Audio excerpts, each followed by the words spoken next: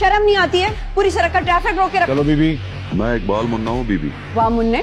तुम्हारे यहाँ मुन्नों को खेलने के लिए पिस्तौल देते हैं।